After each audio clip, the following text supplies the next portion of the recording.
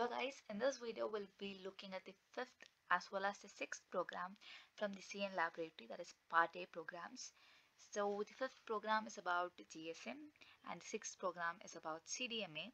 So in GSM it's used for the 2G technology that is global system for mobile networks and CDMA is used for 3G technologies and it is code division multiple access.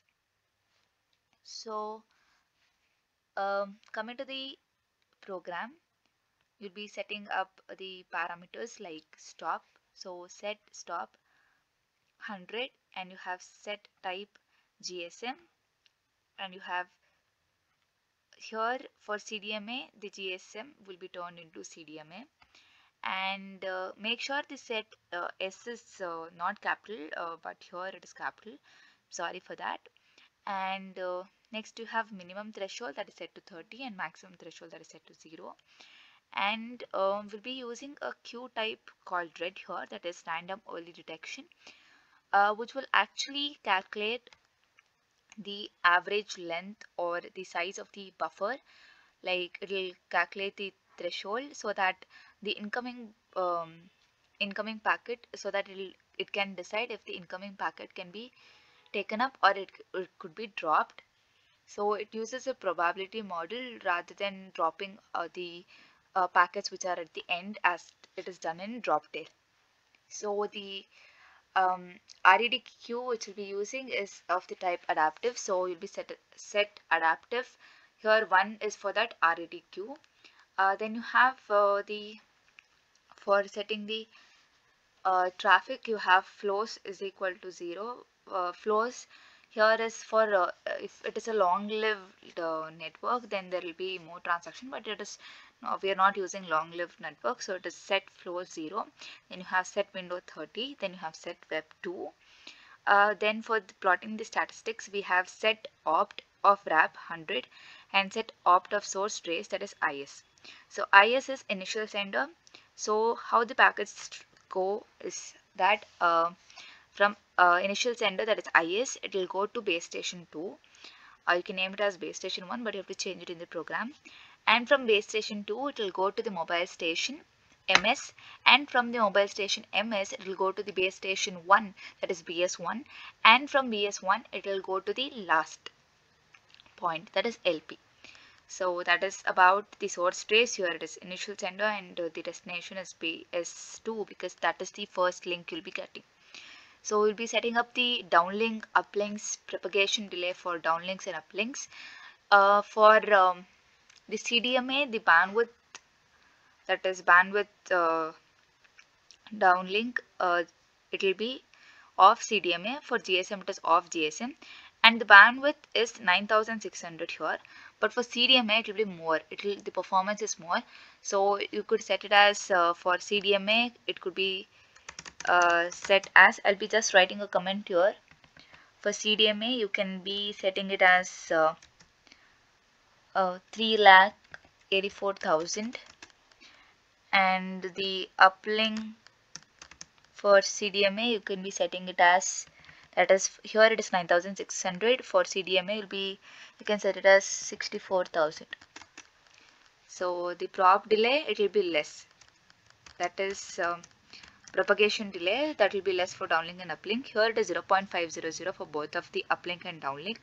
For um, the CDMA it will be 0.1500 it will be less the delay will be less when compared to GSM so CDMA is more advanced as we know that 3G is more advanced than 2G so that is why the delay is less and the propagation that is the propagation delay is less and the bandwidth is high and as we know in simulation programs, the mandatory things that is setting up the simulator object that is ns, after which the trace file. So that is done. And the NAM file will be done in uh, the procedure called stop here. So we'll be looking at it at the stage.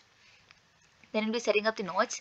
Uh, here the setting of nodes is a little different where uh, you give nodes of IS that is you'll be naming the nodes here itself so that is why that is initial sender mobile station base station 1 base station 2 last point. And this is the same syntax. After that you have cell topo. That is in order to have the links between all the nodes that I've told that is between the last point. So we'll start from the last point. So last point to base station 1 you have 3 mbps as speed. And there may be 10 nodes. That is 10 mobile station between this thing there is not only one mobile station so we just specify 10 nodes and the queue is drop tail. And uh, the duplex link between base station 1 it goes to mobile station. So that is why the nodes ms then it is 1 1 and red. This is nothing but we are using red uh, queue here for uh, if the uh, links is between the uh, mobile station. So from mobile station it will go to base station 2 again we'll be using the red queue after which uh, you have uh, the link between base station 2 and initial sender. Again 3 mbps and you set up 50 nodes here for the mobile station and the queue is drop tail so this is about the cell topology. And you can also uh, see the next uh, procedure that is uh, make sure the p is uh, small here this is because uh, in word you once you enter the new line it gets capitalized. So that is why it is uh, here also it is p is small. So and in drop tail d should be capital and t should be capital. So that that is how it works otherwise it won't work. Uh, set link para is the next procedure and will be passing a, a variable t um, what is variable t we'll be looking at in later stage so global ns nodes um, prop uh, propagation delay between that is downlink uplink bandwidth uh, between downlink, uplink, and you have a buffer. So all this will be specified in global. After which you have to set the bandwidth between base station 1 and the mobile station. Again base station 2 and mobile station. So the uh, bandwidth uh, down uh, like downlink is uh, dollar $t. What is dollar $t? We'll be looking at in a later stage. Uh, that the link is duplex. Again, you'll be setting the delay between the base station 1 and mobile station and base station 2 and mobile station and the propagation delay is dollar $t again and the link is duplex and you'll be setting the queue limit between the base station 1 and mobile station that is 10 and between a base station 2 and mobile station that is 10 again so since we're using the red queue we'll be specifying some variables that is whatever we have put in the value that will be take taken here.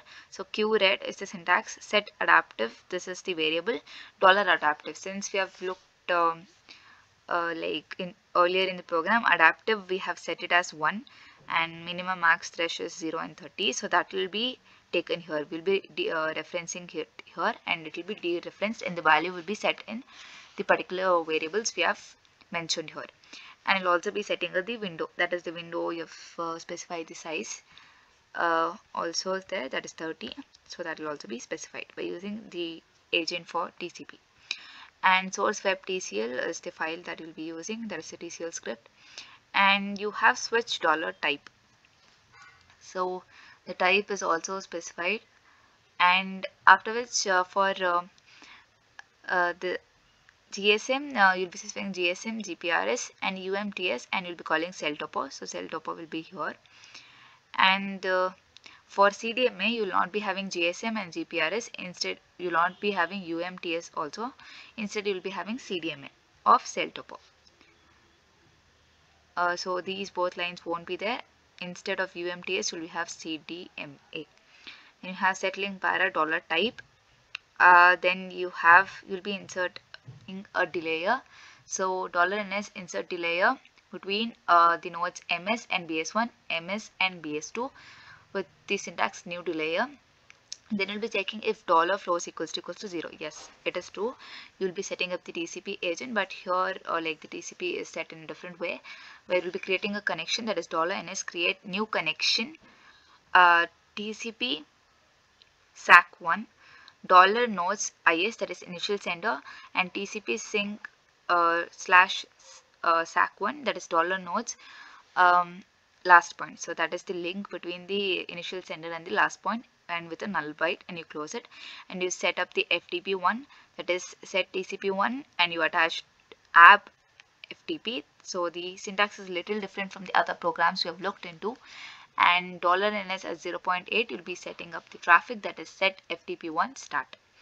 Then you have the procedure that is nothing but similar to that of your finish but here you'll be writing all the NAM file everything uh, the execution part everything. So you don't have to uh, like um, write the awk file whatever it is. Just have to uh, compile this by using ns command. That's all.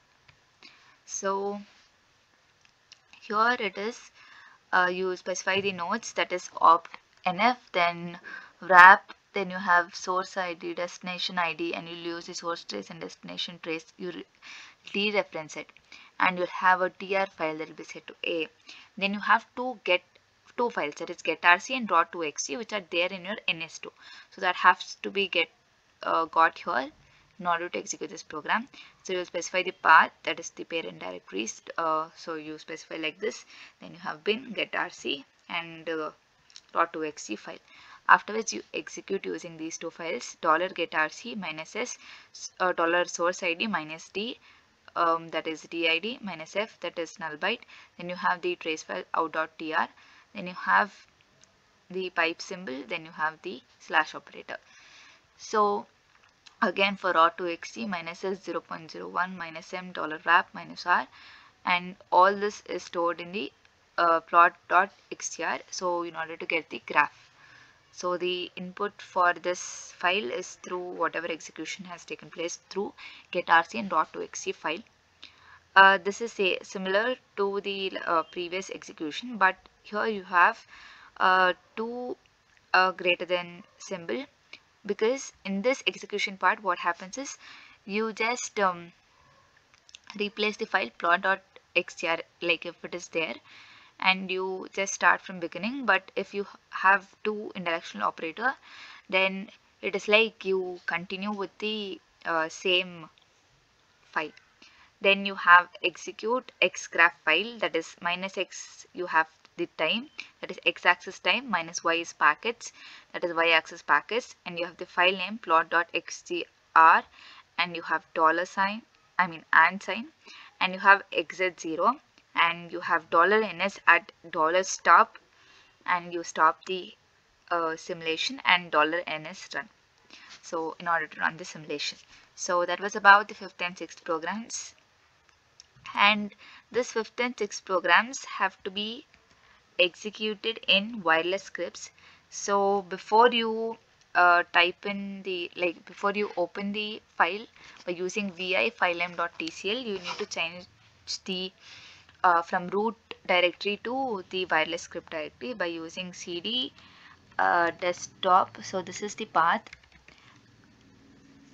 Desktop.